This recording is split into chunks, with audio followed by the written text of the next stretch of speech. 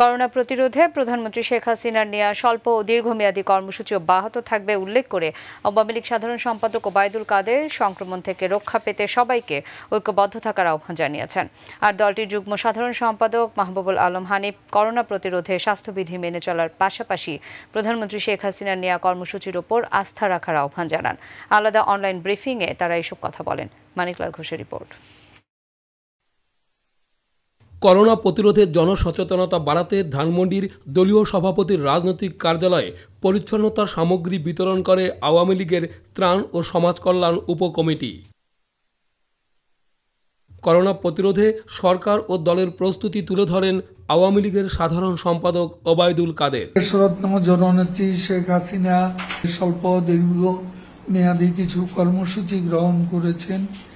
এই কর্মসূচি যতদিন করোনা ভাইরাসের প্রকোপ থাকবে, ততদিন পর্যন্ত অব্যাহত থাকবে এবং এ ব্যাপারে সবাইকে সচেতন থাকার জন্য, সতর্ক থাকার জন্য আমরা আহ্বান জানাচ্ছি এবং নেত্রী যে কর্মসূচি গ্রহণ করেছেন, সেই কর্মসূচি আসুন আমরা সকলে ঐক্যবদ্ধভাবে আমরা নিজেরা বাঁচি, অপরকে বাঁচাই, এই প্রতিজ্ঞায়। এগিয়ে যায়।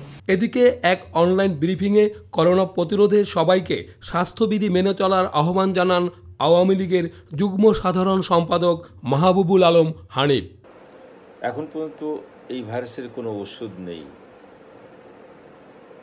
পরিত্রাণের একমাত্র উপায় এই ভাইরাসের কমিউনিটি ট্রান্সমিশন ব্রেকডাউন করা। এবং সেই জন্য আমাদের সকলের প্রয়োজন ঘরে থাকা। এবং অন্যের সংস্পর্শ থেকে দূরে থাকা। সম্প্রতি একজন ব্যক্তির শরীরে ভাইরাস পাওয়া গিয়েছে, যিনি সম্পূর্ণ সুস্থ এবং সবল, তার রোগের কোনো উপসর্গ ছিল না। এবং এটি এটা প্রমাণিত হয়েছে যে আমি বা আপনি, আমরা কেউই নিশ্চিত নই যে করোনা ভাইরাস মুক্ত। সেই কারণেই আমাদের এই মুহূর্তে করণীয় একটাই, সেটা ঘরে থাকা ঘরে থাকা এবং ঘরে থাকা এবং সেই সঙ্গে অন্যের সংস্পর্শ থেকে দূরে থাকা। Manik Lal Ghosh, my TV, Dhaka.